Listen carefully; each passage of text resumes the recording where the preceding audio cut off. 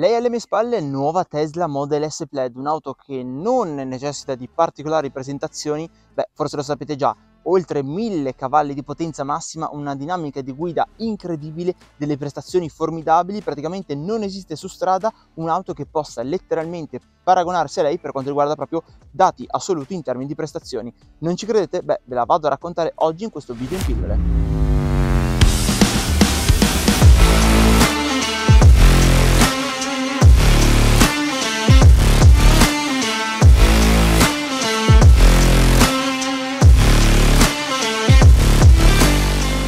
Subito particolari aggiornamenti dal punto di vista estetico, sicuramente è diversa rispetto alla prima generazione di Tesla Model S. È stato riottimizzato tutto il paraurti anteriore, tutto il frontale per riuscire ora a fendere ancora meglio l'aria, infatti il CX aerodinamico è uno dei migliori in commercio, solamente 0,20 CX e questo le permette di essere particolarmente efficiente dal punto di vista appunto della penetrazione aerodinamica, quindi aumentare anche l'autonomia. Sono poi disponibili gruppi ottici full LED con eh, fascio abbagliante automatico che consentono di avere massima illuminazione possibile sulle strade a seconda poi delle condizioni in cui ci troviamo a viaggiare. Nuovo anche il design dei nuovi cerchi in lega, in questo caso da ben 21 pollici con tanto di pinza monoblocco color rosso a contrasto che ci fa subito capire la sportività di questo modello. Tesla però non si è solamente limitata a creare una versione super potente di Model S perché è stata completamente ottimizzata la meccanica dell'auto. Troviamo ora una batteria sempre da 100 kWh la cui però composizione è pensata per andare a massimizzare i cicli di carico e scarico. In sostanza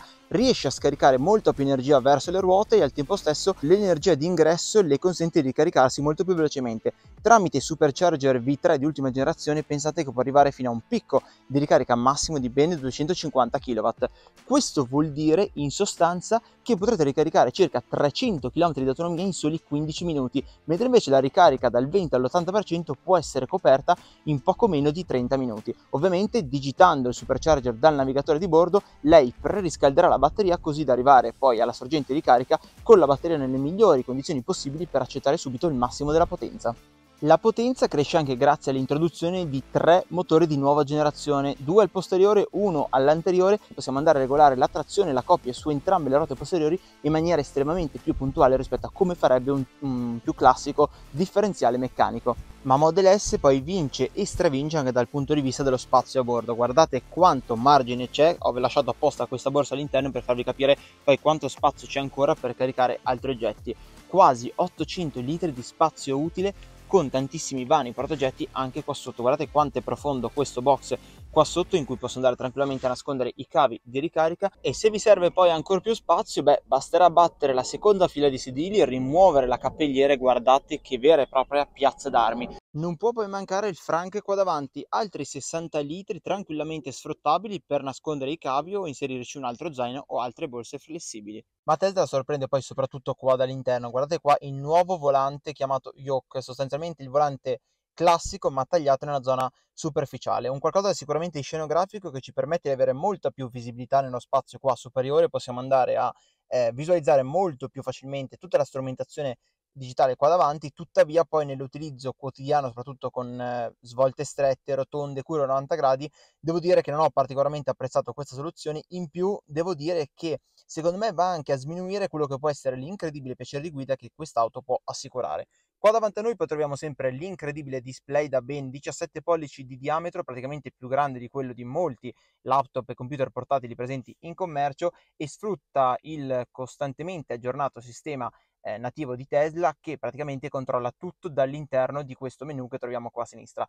Peccato che vedete qua con la vista del volante andiamo a oscurare praticamente questa porzione di schermo, una piccolezza che eh, in realtà non è più di tanto vincolante, ho apprezzato sempre tanto la fluidità di utilizzo di questo sistema che integra praticamente tutto il cervello dell'auto al suo interno. Possiamo letteralmente andare a controllare qualsiasi cosa e eh, ciò che apprezzo è che negli anni è stato sempre ulteriormente migliorato, ad esempio quando andiamo a regolare le tre modalità di guida, la pesantezza del volante, possiamo andare ad attivare la modalità drag strip che è quella che poi va a massimizzare la potenza erogata dal powertrain, ma attraverso la modalità track possiamo andare anche a personalizzare la ripartizione della coppia attraverso i tre motori. Due posteriori, uno anteriore, possiamo andare a scegliere di far diventare quest'auto fondamentalmente un'auto trazione posteriore o un'auto trazione anteriore per andare a risparmiare qualche kilowatt in ambito proprio trazione ed erogazione della potenza, ma possiamo andare anche a regolare quella che è l'altezza dal suolo della vettura attraverso questi quattro livelli. Molto utile perché si tratta di un'auto molto molto vicina al suolo, quindi attenzione quando andrete a parcheggiarla. Ed eccoci quindi al volante di una delle auto più pazze di sempre, pazze ovviamente in senso positivo perché vi sfido a rimanere indifferenti di fronte ad un'auto che riesce a mettere a terra 1000 cavalli e passa e oltre 1400 Nm per metro di coppia. Ciò che mi sorprende sempre in primis delle vetture elettriche, ma poi ancora di più di questo modello, è come si riesca praticamente ad annullare il peso chiaramente importante di queste auto, dovuto principalmente alle grandi batterie. Si parla ovviamente di 100 kWh di batteria, la vettura pesa in ordine di marcia oltre 2140 kg, ma mettendo la modalità PLED, mettendo le sospensioni e la configurazione più sportiva, sembra di avere a che fare con un'auto decisamente più piccola, più maneggevole e soprattutto più leggera. L'immediata coppia dei propulsori elettrici annulla tutte quelle che possono essere le forze, le masse in gioco e in pochissimi secondi verrete letteralmente proiettati nell'iperspazio. È un'auto chiaramente impegnativa da gestire perché quando toccate i 100 km/h in soli 2,1 secondi, ma ancora più preoccupante il valore di 6,1 secondi per toccare i 200 km/h da fermo, ecco che si tratta di una vettura davvero eh, da usare con i guanti nonostante possa tranquillamente trattarsi di un'auto da utilizzare tutti i giorni. Certo, abbiamo un assetto che è tendenze allo sportivo, quindi un assetto che ha una certa resistenza quando si va ad affrontare qualche buca più secca, però comunque viene facilmente mangiato dalle sospensioni che possono essere appunto regolabili, sono pneumatiche, quindi potremmo andare anche a regolare l'altezza della vettura dal suolo. Eh, tutto questo la rende un'auto letteralmente perfetta, si sposa benissimo con qualsiasi contesto. E arriviamo infine ai consumi perché nonostante una massa così importante, una potenza così impegnativa, dalle dimensioni davvero generose, ecco che poi Tesla raggiunge letteralmente il miracolo perché in ambito urbano, quindi muovendosi tra i semafori, tra le rotonde, in contesto diciamo da tutti i giorni, i consumi possono spaziare dai 16 ai 19 kWh su 100 km e credetemi è un valore incredibile. E se non ci credete guardate un po' i consumi rilevati, questa è l'ultima distanza effettuata ovviamente in un contesto urbano,